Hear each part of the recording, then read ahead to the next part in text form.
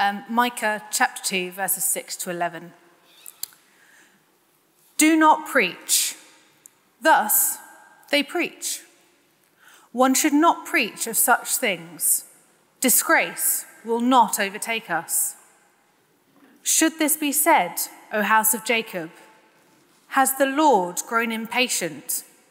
Are these his deeds? Do not my words do good to him who walks uprightly? But lately, my people have risen up as an enemy. You strip the rich robe from those who pass by trustingly, with no thought of war. The women of my people you drive out from their delightful houses. From their young children you take away my splendor forever. Arise and go, for this is no place to rest, because of uncleanness that destroys with a grievous destruction. If a man should go about and utter wind and lies, saying, I will preach to you of wine and strong drink, he would be the better preacher for this people. Catherine, thank you very much, and very good to see everyone here today. I would like you to imagine, please, that we were one of those sort of bossy, enthusiastic churches, uh, the kind that make you sign up for big campaigns. So imagine on the way out that uh, we were going to make everyone, I don't know, dip your thumb in some ash or something, or make your mark on a, a big man sized contract to promise that we will all give two colleagues a message from God on Wednesday. Okay, imagine we were going to make you do that. We will all give two colleagues a message from God on Wednesday. We are not going to do that. You can calm down and relax. But imagine that. So you, you line up and you, you take the pledge to swear to give two colleagues that message. And I wonder who you would choose. Uh, would you choose your most friendly co worker? Would you choose the most unintimidating person you've got at work? Or maybe your recently appointed boss? Yeah, that'd be a good idea, wouldn't it? So um, you book an appointment with, uh, with Maurice Tulloch, and uh, you, you know, I'd like to see the CEO, please. I have a message from God for him. And uh, imagine his PA says, Well, that, that sounds important. Um, I can fit you in at 2 p.m. So 2 p.m. on Wednesday, um, you know, and then she turns to, to, to the boss, you know, Jill from stationery has a message from God for you. Uh, 2 p.m. You go along. How do you feel about that meeting? Well, doesn't how you feel depend entirely on what the message is? Which is to say, doesn't it depend entirely on who your God is? That is going to be the big idea in Micah for the next four weeks. Micah's name means who is like the Lord. The, the whole book is a, a debate about what kind of God Israel's God is. And uh, what we're going to do, we're going to take four verses from the book over four weeks. And there is some good news for your two o'clock with the CEO tomorrow. Look down at 2 verse 11, because Micah knows exactly what people want to hear at work. So look down at 2 verse 11. Here is exactly the right kind of preacher for this people. Here is what he would say. I will preach to you of wine and strong drink. That's the message. Sorry about the accent.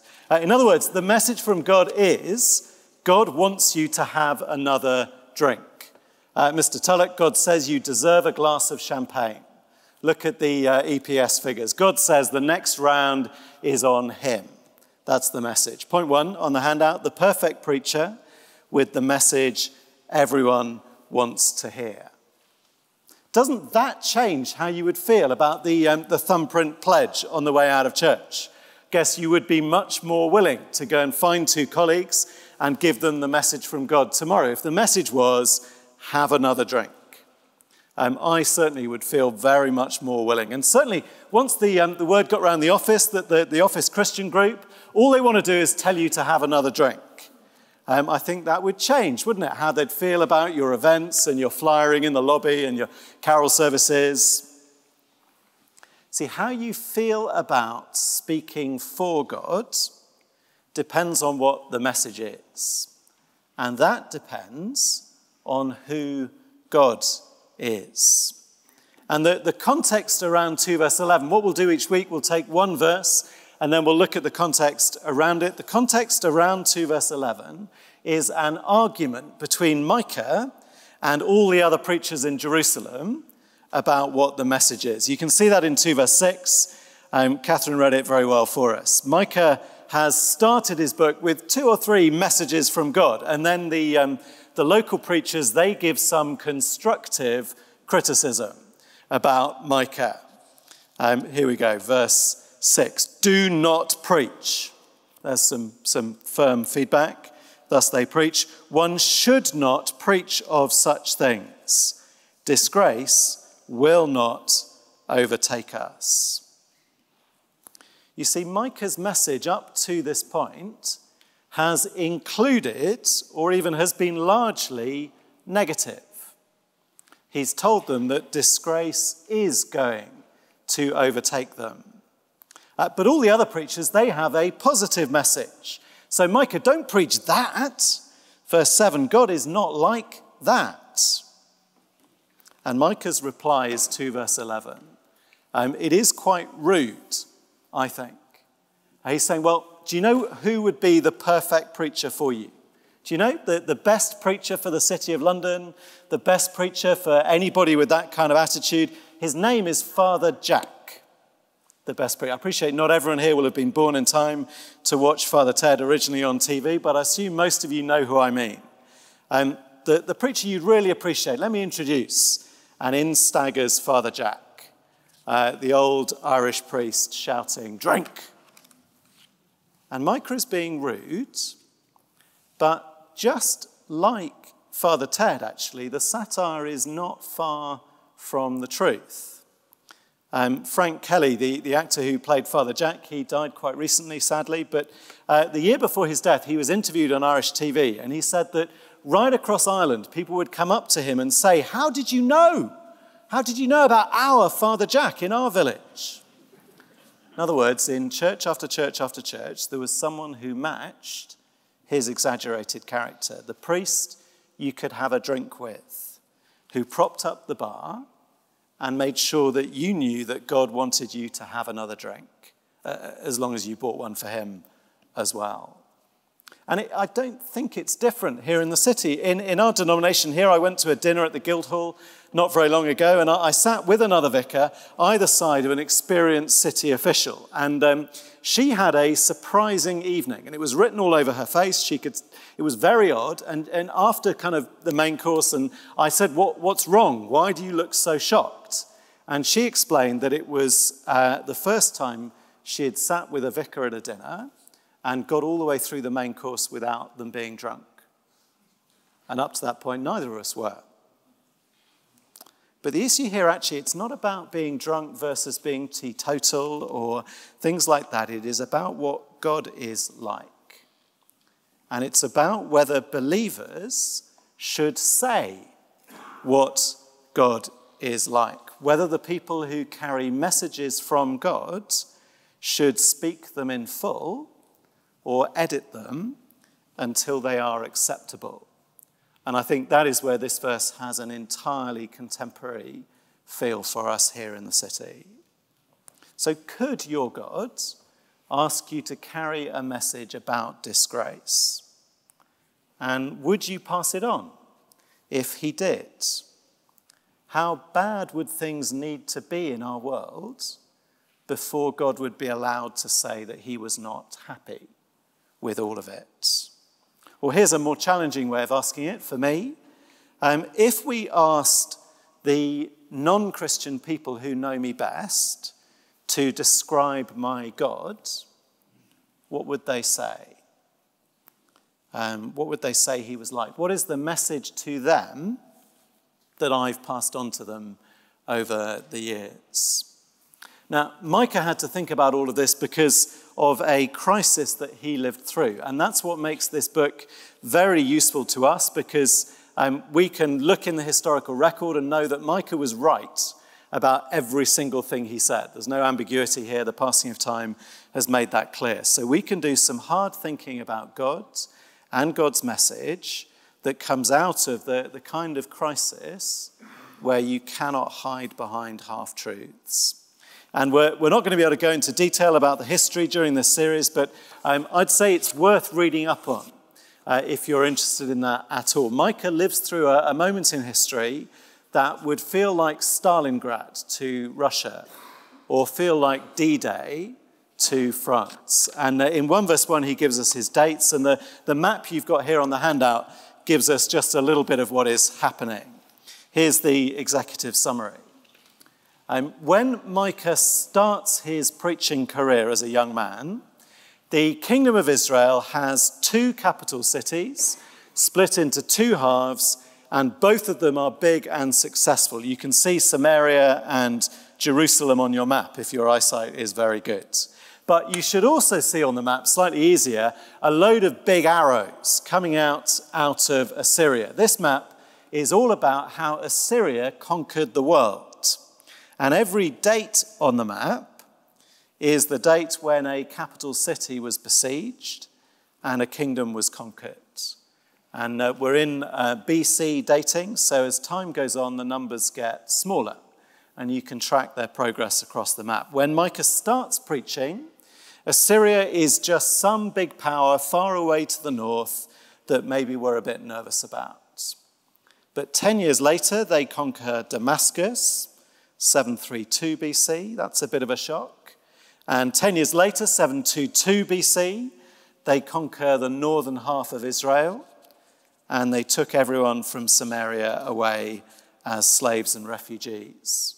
And then 20 years later, 701 BC, the worst happens, and Assyria invades Micah's country. And he conquers, they conquer all the towns of Judah one by one, and they besiege Jerusalem, the city of God. And if you really want to do your homework properly, you should go to the British Museum, where they have a whole room full of six foot high carved stone pictures of the Assyrians doing this in 701 BC, carved by the conquerors at the time. And Micah's book comes in three sections, and each time he begins by asking, Please, will somebody listen to me? You can see that in 2 verse 2. Hear, you peoples, all of you. Pay attention, O earth, and all that is in it. And each section fits a new period of time in the crisis. And this week, we are in the period when Micah's predictions sound totally crazy. So Micah stands up and says, 1 verse 6, Samaria is going to be destroyed. That is like saying today that Argentina is going to invade New York and destroy it. What a crazy thing to say before the Assyrians even have a border with Israel. Then, verses 10 to 16 of chapter 1, he says all of the minor towns of Judah are going to be conquered. It's like saying that uh, Hungary is going to conquer Dorking and Basildon and Basingstoke. Um, can, can you see why Micah is having this argument with all the other preachers?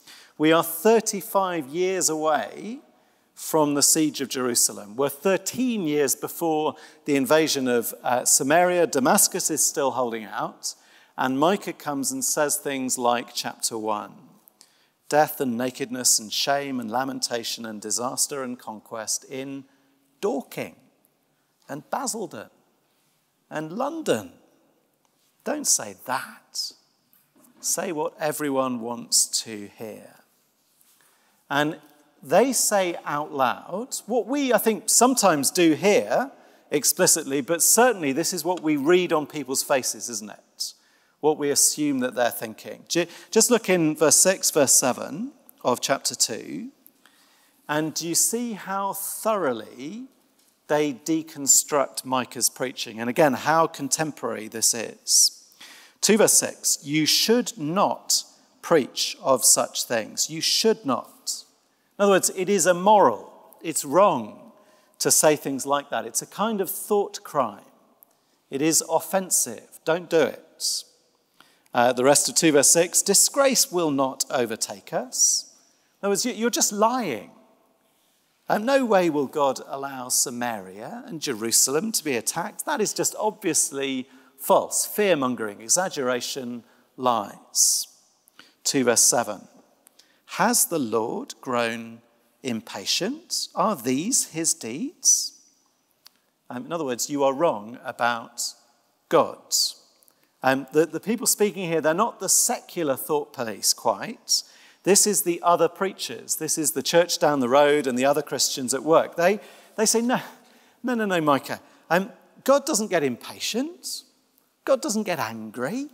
Uh, he doesn't do things like destroying cities. God is nice and kind. God wants us to do well. Say that. And then one more thing in 2 verse 7. Do not my words do good to him who walks uprightly? Which is to say, Micah, you are wrong about us.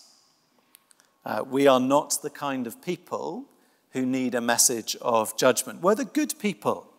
We walk uprightly. We're the great and the good. In the city, we give to charity and get involved in social responsibility, and we're kind to our team, and we go to church every now and then, even. Micah, you are immoral, lying, wrong about God, and wrong about us. And I think, I hope you, same as me, get the impression it's that last one that really makes them cross. You are wrong about us. And 2 verse 11 is Micah's reply. If you can't cope with what I'm saying, then really the only kind of preacher you'll be happy with is the one who says, have another drink. Let's just do that. This week's sermon and next week's sermon, until further notice, is just, you know, whose turn is it at the bar? Uh, God wants you to have another drink. And it's nice that we have a diversity policy at work. It's nice that every religious and philosophical group is allowed to speak. It's nice that we have total freedom of speech here at Right On PLC, as long as the Christians only say, have another drink. Um, what I would love you to discuss over lunch, if you have time to stay for that, discuss um, what are you allowed to say about God at work? And what, what does our culture allow us to say? What do we allow ourselves to say? What do our churches and Christian friends allow us to say? And of course, the, the right place to start with that conversation is what we normally do say. I, I, was half term last week. I was away and met a lot of people I don't often meet and had several open conversations with people who would not call themselves Christians. And one man even asked me, What do you say to those people in the city? Now, there is an open invitation. What is the message from God that I left him with? Was the message only positive? Or did it truthfully cover the good news and the bad? And we'll see that every section in Micah, it starts with bad news and then moves on to good news. That is the, the normal Bible pattern throughout, from beginning to end. Starts with bad news, moves to good news. Micah's God has both things to say. Micah wants to tell us that rescue only comes after judgment or only comes through judgment and out the other side. Micah is a preacher like Jesus in that respect. There is no true Christian good news that doesn't talk about the bad news, that doesn't talk about judgment. There is no need for Jesus to die if God is the kind of God who just wants us to have another drink. And the, the drunken clergyman at the city dinner um, fitting in with everybody else. He is actually not a sad figure of fun like Father Jack. He is actually an expert. He is an expert in what our culture wants from its preachers. He has calibrated his message precisely for maximum impact. And actually, it may be that he is just more honest than me. Um, I think I put enormous effort into trying to live alongside my friends as if God is actually fine with everything in their life. Uh, in um, the days back when you had to actually go and meet people in pubs and talk to them rather than on email and on Facebook, um, we, I worked out, even as an 18 year old intern in a, in a bank in the city, I worked out that one glass of whiskey had half as much alcohol in it as one pint of beer. But that all of my colleagues thought I was drinking more than them if I held a glass of whiskey rather than a pint of beer. So this was magic maths that worked very well for me um, and enabled me to tick the good Christian box and stay sober while giving the, everyone else the impression that God said, have another drink. Um, now, all of us have to work out our different way of approaching the, the Friday night drinks and whatever it is, but, uh, and you don't have to ruin every party that you ever get invited to, that's not the point. Um, but the danger I'd suggest for most of us is at the other end of the spectrum.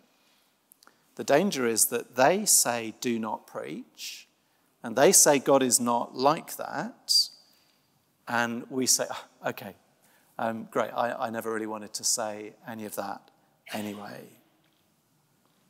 Now, I've got three minutes left just to dip into Micah's real preaching and show you how good it is. Uh, what Micah really has to say, it is not comfortable, but it is good. So the perfect preacher has the message everyone wants to hear, but Micah, point two, is a messenger who tells the truth. And let's pick that up in 2 verse 8. So the truth is that lately God's people have not walked uprightly, whatever they think of themselves. In fact, they've been much more like highway robbers who specialize in mugging helpless refugees and specialize, verse 9, in making women and children homeless. And Micah, he has some news for them. And the news is that God can see you and that God cares about the helpless and the homeless. And that 2 verse 10 is an eviction notice arise and go. See, God is not always nice, but He is always loving, which is not the same thing. God loves the people that you're taking advantage of, He's saying, and God will be fair. I, suspect that 2 verse 10 is written using the language that they used in their eviction notices when they uh, kicked out the women and the children. All God's going to do is, is give you what you've given to other people, only the same, only what is fair. 2 verses 1 to 5 give us more detail. Um, they devise wickedness and evil. And then verse 3 God devises disaster against them. And the, um, the joke is that the same word there means evil and disaster. You plan disaster for them? Well, God sees and God cares, and God plans disaster for you. And that is the plain truth about God. And it is so good, isn't it? Um, good if you get angry about how you are mistreated at work. Good if you read about um, clergy who abuse children. Good if you worry that everything is getting worse and no one seems to care. Good if you think that this world is not fair. Um, there's much more to say than God is fair. Um, we, we really want to tell the CEO and our colleagues and the security guard and whoever that God forgives bad people. That's the good news. God is fair, but he forgives bad people. You can escape God's judgment. That's where Micah is going. But we can only tell you about God's mercy if you will let us tell you about God's judgment. And most of us Christians have been silenced. And Micah is going to tell us how next week. So I guess um, you think you do have a message for God for all the people at work. But I guess uh, the way you feel about that is strongly related to what the message is. And to work out what the message is and should be, we've got to do hard thinking about our God and who He really is. Let me ask God for help with this.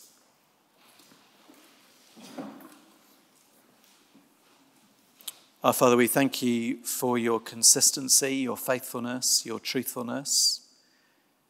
Thank you, Father, for people like Micah and others through the whole Bible who tell us the truth about you, the bad news and the good news. Thank you for your wonderful good news that you have forgiven sinners against you, forgiven uh, those of us in this room who trusted you no matter what we've done. And pray, our Father, you would help us to speak the truth about you. In Jesus' name, amen.